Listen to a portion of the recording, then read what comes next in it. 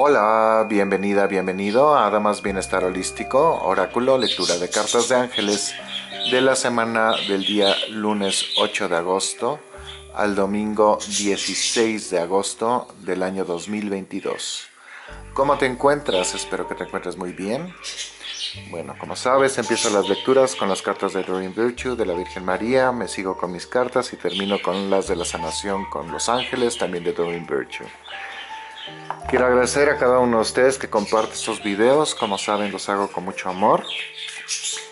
Y no sé cómo se sientan ustedes, pero yo siento que la energía tan pesada que hubo en julio y tan compleja, julio me pareció que fueron como cuatro meses en uno, la verdad. Ya se está como que disipando, ya se está disolviendo ese nudo energético, ya se están resolviendo las situaciones. Pero bueno, este, ya me comentarán a finales de mes este, cómo sienten este mes. De mis cartas escojo tres cartas. Y bueno, en cuanto a mi vida particular, les comento, ya di con un servicio de enfermería con eh, gerontólogos para que puedan asistir a mis padres y este, bueno, ya mi madre la dieron de alta, gracias a Dios. Ya puede reanudar su vida poco a poquito. Después de casi seis semanas de estar este, con las piernas elevadas por los edemas. Entonces, bueno, poco a poco las cosas se van resolviendo y como decían, nada es para siempre. Y mi aprendizaje en esta vida, uno de los mayores, es el saber adaptarse a las situaciones en el momento.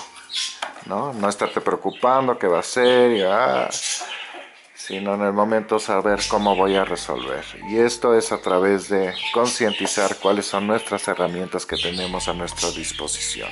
¿no? ¿Qué puedo hacer? ¿Cómo puedo resolver? ¿Qué me corresponde? ¿Qué no me corresponde? Y de acuerdo a eso pues voy tomando decisiones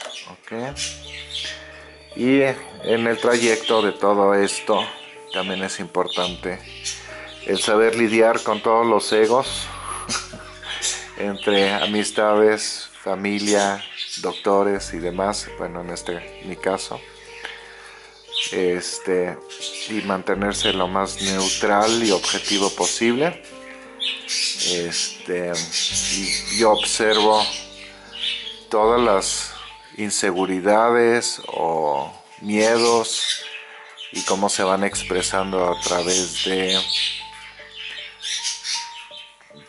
pues mal escogidas las palabras y expresiones opiniones que a veces no vienen al caso. Y es bastante interesante el observar todo esto y no de tomártelo de manera personal. Entonces, bueno, yo la verdad este, este año he crecido mucho a través de esta situación. Este, algunos personajes que están involucrados también, otros no tanto. Y eso también es muy respetable, ¿no? Cada alma decide su trayecto y qué tanto va avanzando y qué tanto no. Recuerden, siempre empezamos por nosotros mismos, y de ahí nos seguimos hacia afuera. Muy bien, comencemos. La Virgen María nos quiere dejar saber para esta semana lo siguiente. Children. Vaya, me encanta, porque ya sé por dónde va este asunto. Niños. Y dice lo siguiente, bueno, si se ve. Y dice, My heart is filled with love for children, which creates miracles and positive change for them and me. Mi corazón está lleno de amor hacia los niños, lo cual crea milagros y cambios positivos tanto en ellos como en mí. Y bueno, en mi caso, pues como saben, estoy soltero desde hace más de 22 años. Por si alguien le quiere hacer de Celestino y conseguirme pareja. No, bueno, pero chiste a un lado. Este, pues como saben no tengo hijos, ¿no? Más que mis mascotas, pues obviamente. Pero estos niños se refiere también al niño interno que tenemos dentro de nosotros, ¿no? Este, hay una parte de nosotros que es el niño este, que pues tal vez sufrió este, desilusiones, eh, qué sé yo, cualquier situación, ¿no? Y ese niño, si no se llega a sanar como adulto, pues se va a hacer presente todavía. Es muy chistoso cuán, cuán, cuál fuerte es la infancia y lo veo ahorita también con mis padres que pues a partir de cierta edad se vuelven como niños este y hay muchos recuerdos de niños y ahorita me vino a la mente por ejemplo mi papá antes de caer en esta demencia tan fuerte que tiene este pero ya estaba comenzando a perdió el equilibrio y se iba a caer pero en un sillón, pero la sensación de la caída, él tuvo la sensación que iba a caerse en el, suelo. Y en vez de llamar a mi mamá, a su pareja, por auxilio, le llamó a su mamá. Y bueno, mi abuelita falleció hace, híjoles, yo creo, dos décadas, la verdad no me acuerdo. Ya lleva mucho tiempo pero me llamó la atención como en su mente él se sentía protegido todavía por su mamá, ¿no? Entonces, bueno, a lo que quiero llegar es la importancia de este niño interno, ¿no? O niña interna, bueno, cual sea tu caso. Este, entonces, bueno, la cuestión es sanar a esta, cuando hay algo que, qué sé yo, desde sucesos muy traumáticos de que haya habido intento de abuso sexual, violación a través de un pariente, un amigo de la familia, etcétera, este, cosas menos trágicas, de, qué sé yo, el abandono del hogar de, bueno, no menos trágicas, sigue siendo muy trágico, abandono de hogar del papá, este, el que no qué sé yo, que se hayan burlado de ti en, la escuela, el bullying, ¿no? Todos estos sucesos que, tal vez la gente haga a un lado y no haya trabajado, son importantes trabajarlos más como adulto, ¿no? Se van reflejando tarde o temprano y Reiki parte de la idea que toda esta energía y estas emociones estancadas y no resueltas luego se reflejan físicamente en el cuerpo físico como una enfermedad, como una dolencia, como pues ah, qué sé yo, falta de movimiento, de dolores, etc. Entonces, bueno, es importante por lo mismo resolver todo esto, ¿ok? Vamos a ver cómo prosigue. Yo cuando inició esta carta, este, a mí lo que me llegó primero es, sé como los niños, vive despreocupadamente este, la corte celestial te protege, te procura, te cuida, ¿no? Y todo está bien. Y déjanos a los adultos este, resolver todas las situaciones y compórtate como niño, sé simplemente tú, ¿no? Y esto se resume a, eh, qué sé yo, una rosa es una rosa y vive su vida como rosa. A lo que me refiero es tenga aprobación, tenga el aplauso, la estén viendo, no la estén viendo, etcétera. La rosa cumple con su cometido de crecer, de sacar el botón, abrir el botón, sacar la flor, qué sé yo, si es polinizado, qué bueno, si no también, se marchita la flor, sigue creciendo, etcétera. Entonces, este proceso de la vida de la rosa, la rosa no se cuestiona, simplemente es. Y eso es la esencia de lo que nos están pidiendo o la Virgen María nos está pidiendo, ¿no? A pesar de todas las circunstancias, a pesar de todo lo que haya, tú simplemente sé tú, sé tu esencia. Bueno, vamos a ver cómo sigue esto. Eh, para el lunes y martes la carta dice misión de vida. Y es el arcángel Metatrón y dice la misión de vida de todos es ser felices. Las actividades que te apasionan son tu misión de vida. Eres libre de elegir. Disfruta. Bueno, pues miren, con mayor razón está justo lo que sentía, lo está afirmando esta carta, ¿no? El disfrutar de la vida, el de, a pesar de la situación, a pesar de, ¿no? Yo voy a disfrutar, yo voy a seguir mi camino, ¿no? Este, hay veces que los sucesos externos nos congelan o nos paralizan, ¿no?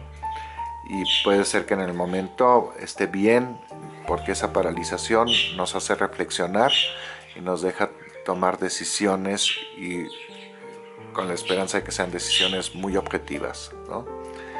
fríamente calculadas, como dicen algunos.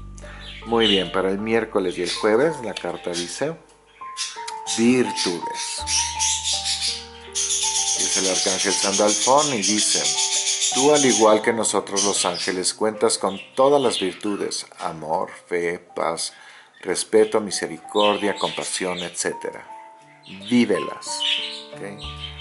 Pues nuevamente nos están pidiendo vivir desde el corazón, desde nuestra esencia, desde nuestro Cristo interno, nuestra propia divinidad. Para el viernes, sábado y domingo la carta termina con perdón. Miren, esa, esa ahora sí que no me cuadró aquí adentro. Pero vamos a ver. Y dice Arcángel Zadkiel, ayúdame, ayúdame a perdonar o perdonarme y a todo lo que creo que ha causado daño de corazón. Me perdono, perdono, sano a través del perdón.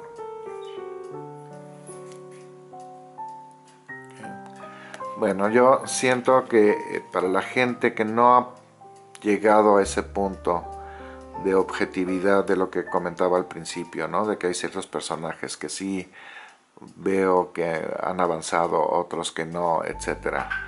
Y tienen la sensación que tienen que perdonarse o perdonar a los demás, este, pues hacer esto, ¿no?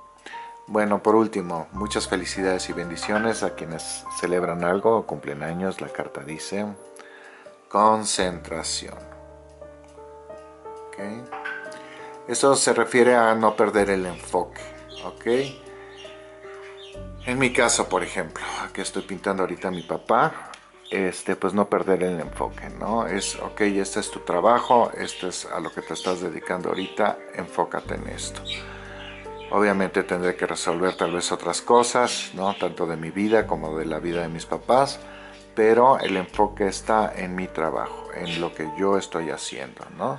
Igual eventos futuros, que si tengo la exposición en septiembre en Dallas, que si voy a mandar tal cuadro a España, etcétera, no perder el enfoque, ¿no? Y entonces ahí aconsejo porque a mí si de repente se me va el avión con mucha facilidad es hacerte como una lista de prioridades, ¿no?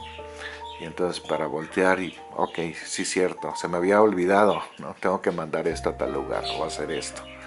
Entonces hacer esta lista de prioridades y no perder la concentración o el enfoque en lo que estamos haciendo.